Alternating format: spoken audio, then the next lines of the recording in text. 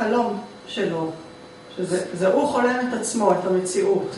שימו לב, וחווה את אלוהות עצמה. שימו לב לדימוי מעניין, שחושבת את המציאות החלומית.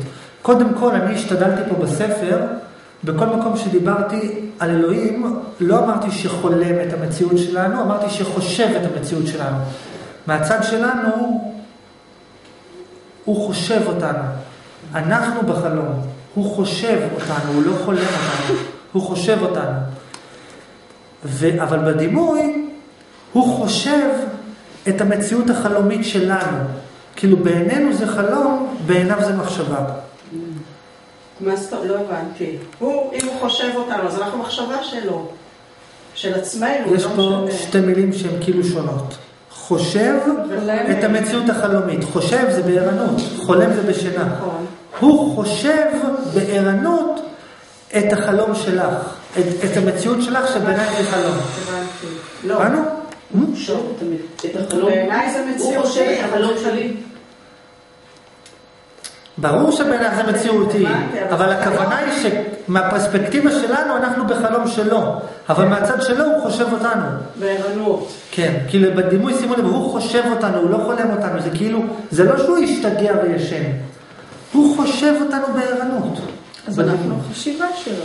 כן, אבל צד מהצד. שלנו, אנחנו בחלום שלו, כאילו, כי אתה לא באמת מודע, אתה לא באמת, דוגמה, את עכשיו חושבת על פיל, אוקיי? עכשיו, הפיל, עכשיו את מודעת לעצמך ולפיל, הפיל לא מודע לך, וגם אם הוא מודע לך, נגיד שהפיל מודע לזה שאת חושבת אותו, אבל הוא לא חווה את עצמו כפי מה שאת חושב, חווה אותו. לכן את חושבת אותו, הוא חול, חולם עלייך, חולם עלייך, כאילו, זה כאילו, אני מבינה זה כאילו. פרספקטיבה שונה, כל מה שבא לי אפשר להגיד. עדיין להשתמש באותה מילה.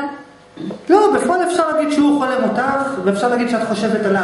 שהוא אבל חושב הוא אותך. יכול להיות שהוא בכלל לא מודע למי שחושב אותו. לא, להיות- ברגע שהוא כן מודע. יכול להיות הרבה דברים, יכול להיות הרבה דברים, ותזכרו ש... לא יכול לחלום. אפשר להגדיר את זה כחלום או לא הוא כמחשבה. בדיוק, לא תזכרו, רק שבראשון אף אחד לא חושב אף אחד, אף אחד לא חולם אף אחד אה, וכו'. אני רק אומר שבדימוי, שימו לב לדקות שיש מי שחושב ויש מי שחולם. יש מי שחושב את המציאות ויש מי שחולם את המציאות. להגיד שאלוהים חולם את המציאות, פירושו להגיד שאלוהים השתגע. להגיד שאלוהים חושב את המציאות, זה בעצם להגיד, לא, יש פה מחשבה, זה לא... זה. אתה, מחשבה. כחלום של עצמך, אומר, רגע, למה זה? הוא חולם. אני לא מבינה למה אתה מגדיר את זה כחלום של עצמי. בדיוק, זה מה שאני לא אומרת. אז מבינה אנחנו הנחשבים שלו, מהצד שלו זה נכון. גם מהצד שלנו. כן, אבל את לא חווה את זה. לא חובה, אבל לא חווה. אבל אני גם לא חובה שאני החלום שלו. אז למה אני, למה נכון, אני רק באתי להגיד שבדימוי אצלך זה יותר חוויה של חלום, לא ואצלך זה בסדר, אבל אני עדיין אה, צמד לזה שאם הוא אני מבחינתי, צריכה- להיות בחוויה שאת חושבת את העולם. את עצמי. אני רק אומר, שימו לב לדימוי. אוקיי. ומי שרוצה סיכום של כל מה שאמרנו, אז הכל כמובן נמצא בספר. מי שרוצה פירוש זה גם נמצא בספר.